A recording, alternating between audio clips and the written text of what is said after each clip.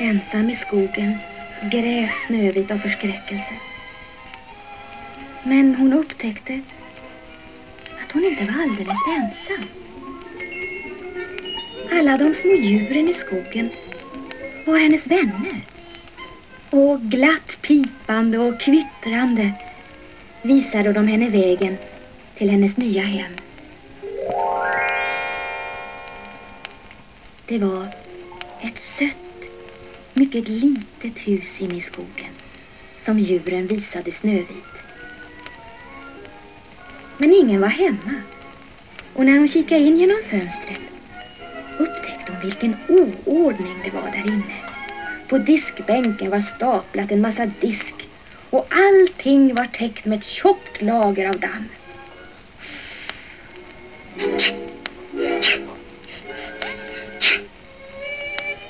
Jenny! Vi städar här, då blir de glada. Då kanske jag får stanna här. Vi visslar lite grann. Då städar vi tillsammans med flitig katt och hand och knolar man ett namn. Då går det fort, snart är det just för sånger friska tag. I kassen far med hand. Du har kär, lämnar du bekymmer och besvär. Åh, nej, nej, nej, nej. Tänk är bälgen. Är hjärtat glatt går allt med skratt, nu visslar vi ett lag. Med hjälp av sina nya vänner hade Snövit snart gjort det lilla huset riktigt fint. Sen gick hon upp för trappan och föll i sömn tvärs över de sju små sängarna. När hon sov kom de sju dvärgarna som bodde i huset hem från sitt arbete i en gruva.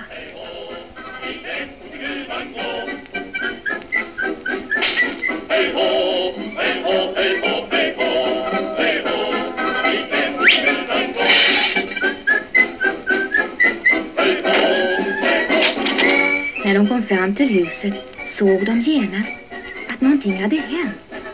Huset var rent. De sju små dvärgarna smög upp för trappan. Där uppe fann de Snövit som just höll på att vakna. Men, ni är de små dvärgarna. Ja, det är klokt!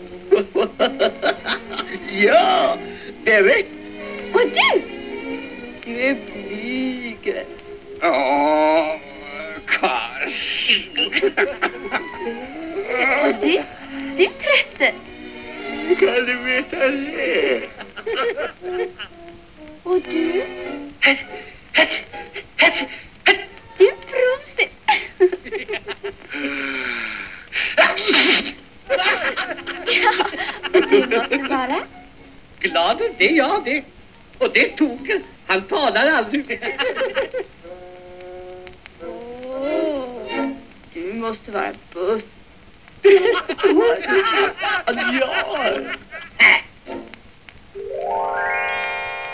När Snövit berättade för dvärgarna om den elaka drottningens plan ville de att hon skulle stanna hos dem. Soppan är inte riktigt färdig. Ni hinner tvätta er först. Förlåt. De hade nästan glömt bort vad det ordet betydde. Oj, det är bort. Men de var snart renskrubbade och till och med Butter fick sig en dusch. De sju dvärgarna blev mer och mer förtjusta i Snövit och hennes skoja påhitt. På kvällen sjöng och dansade alla tillsammans.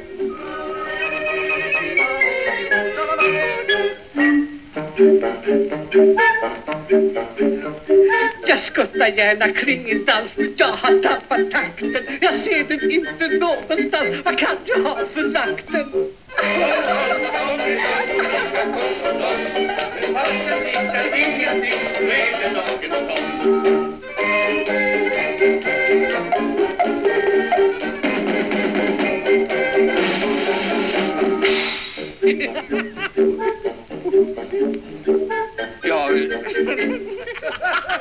Jag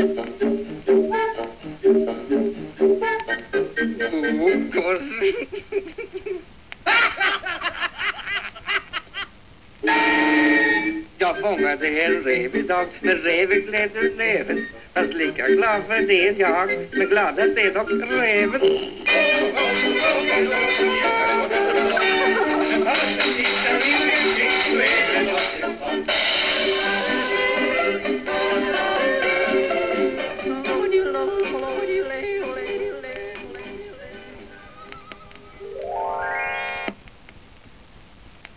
Istället för att gå till arbetet i gruvan nästa morgon stannade dvärgarna kvar i skogen och gjorde en ny vacker säng åt Snövit. De hade nog inte arbetat så glatt med sängen om de hade vetat vad som hände på andra sidan skogen. Den elaka drottningen hade fått veta att Snövit fortfarande levde. Och nu, förklädd till en gammal gumma, var hon på väg till deras hus med ett förgiftat äpple åt Snövit. När dvärgarna hade lämnat Snövit på morgonen hade de varnat henne och sagt att hon skulle stanna inne i huset. Hör på, jag varnar dig. Det blir inte in någon eller något i huset. Och Snövit hade lovat att hon skulle vara försiktig. En stund senare knackade det på dörren. Utanför stod den gamla gumman. Gumman bjöd Snövit på ett stort härligt äpple. Snövit kunde inte motstå det. Ja, bit bara så får du allt vad du vill. Är det sant? Ja, Träsmitt. Se så, en skalott. Hon visste ju inte att det var förtrollat. Så snart hon hade smakat på det stora röda äpplet sjönk hon samman på golvet. Den elaka drottningen skyndade iväg bort men hon ramlade ner i en djup avgrund och ingen har sett henne sedan dess. Snövit förblev livlös. De sörjande dvärgarna la henne i en säng av guld och glas och höll vakt över henne dag och natt. Så en dag kom en ung prins genom skogen och fick se Snövit. Förtrollad av hennes skönhet kysste han henne. Då vaknade Snövit. De sju dvärgarna dansade av glädje.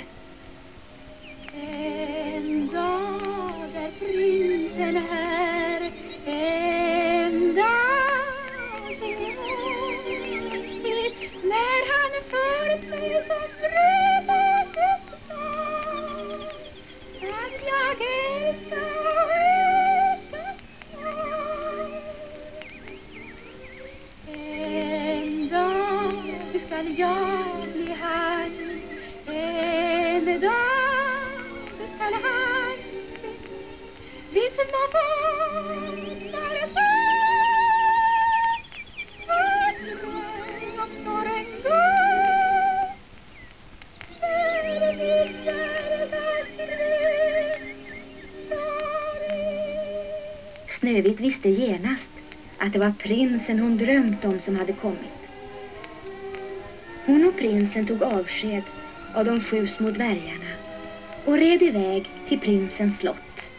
De sju dvärgarna gick glada tillbaka till sin gruva nu när de visste att Snövit och prinsen skulle leva lyckliga i alla sina dagar.